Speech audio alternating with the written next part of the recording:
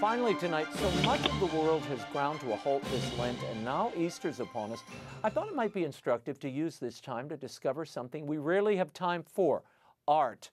Now, even though the great museums dedicated to housing these treasures are closed, my next guest has some suggestions about how you can still enjoy great works of art this Holy Week and Easter. Please welcome historian and author of How Catholic Art Saved the Faith, Dr. Elizabeth Lev joins us from Rome. Liz, during the global coronavirus outbreak, several museums around the world have chosen to have virtual tours of their galleries available online, including the Louvre, the Smithsonian National Portrait Gallery, uh, the Hermitage in St. Petersburg, Russia, and several others. How important is it for people, especially now, to be able to visit these beautiful works of art?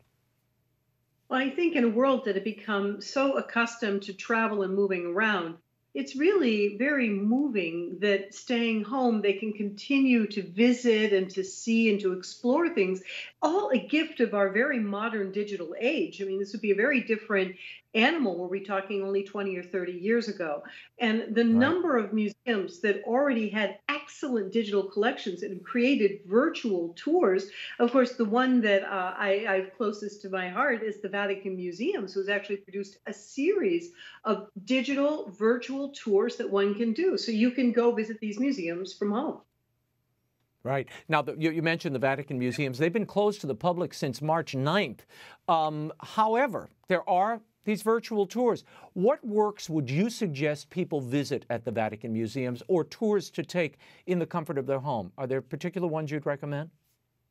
Well, I think uh, I, I, think one of the nice things is uh, we're coming up on the uh, anniversary of Raphael's death, which will be next mm-hmm. Monday on, on, on April 6th. And of course, visiting the Raphael rooms and these unbelievably beautiful images that the Vatican Museum mm. can produce will be very special. The Sistine Chapel, naturally.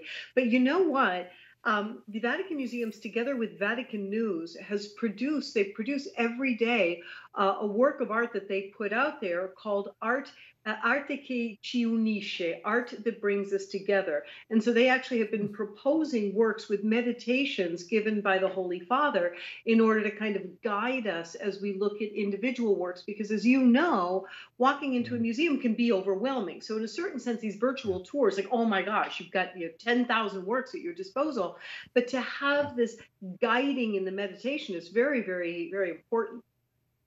Mm. Last week in the Netherlands, and I'm going to switch around here for a moment, uh, thieves stole a Vincent van Gogh painting. It wasn't the famous Starry Night. Uh, it, it's a rather dreary painting titled uh, Spring Garden, the Vicarage Garden in uh, Nuenen in the spring. Is there anything that would make this particular painting a target of thieves? And how diligent do these museums have to be uh, in their security front, given that there's no tourism and their guard may be down?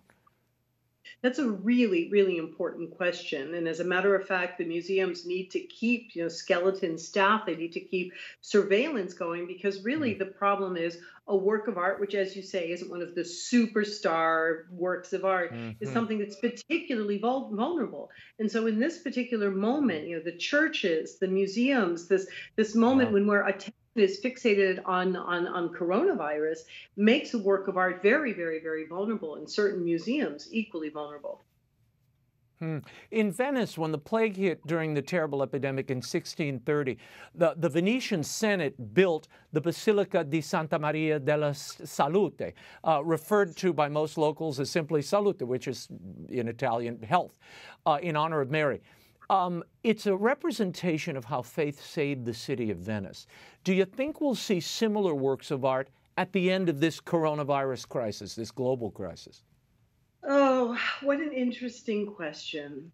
Venice, I think this is interesting. It's interesting that you chose Venice because of its tremendous similarity. The situation of New Orleans, lots of people packing together a lot of water. Yep. Venice had the of plagues on more than one more than one occasion and so that was actually the mm-hmm. second church they built after the church of the redentore and so venice had a way of not only creating a church but creating processions for these for these churches then you have in mm. naples mm. they erect these enormous columns these plague columns so it would be very interesting to see what our age should our age choose to turn to faith isn't that what these churches and beautiful monuments mean, it means that we understand that the situation has gone beyond our control and we can only look for we we have to look for divine assistance to help our human efforts. And so that I hmm. think is really it would be particularly telling should this very modern age often referred to as the post-religion, post-Christian, post-human age, what if we recognized our humanity and produced something that saw our need to look beyond. Mm-hmm. The coronavirus has suspended exhibits all over the world, as you know. You mentioned that Raphael, the 500th anniversary of Raphael, the Vatican had this extensive exhibit. They, they hung those beautiful tapestries we saw several weeks ago. Um, give me a sense of Raphael's contribution to Catholic art, and are there particular pieces that you would direct our audience to as we go into Holy Week? I think um, it, what's very interesting is there's a lot of debate about what, what killed Raphael at age 37, amazingly, on April 6th of 1520. Many people think he had a fever for 15 days and then mm. he was bled and he died. So the idea is that perhaps he was caught up also in an epidemic. And what was Raphael hmm. working on when he died? The last thing he was producing, the thing his dying breath, was an incredible painting of the Transfiguration. And I would strongly recommend that your viewers look at this painting where the lower part of the painting, Raphael paints a gamut of human emotions. They're healing, they're the, the apostles trying to heal the boy possessed by demons, and you see fear and you see emphasis and you see people who seem out of their mind in, in, in, in reactions. But all lines in that painting, every line in that painting draws your eye upwards. And what's up at the top? The image of Jesus transfigured, a light that physically rolls back the darkness. What a beautiful image for us to imagine Jesus, to think of Jesus as a light, that as the darkness seems to have taken on a physical force which is too much for us, Raphael's final image is Jesus is that light that can physically push back, roll back the, the, the mm. shadows of darkness.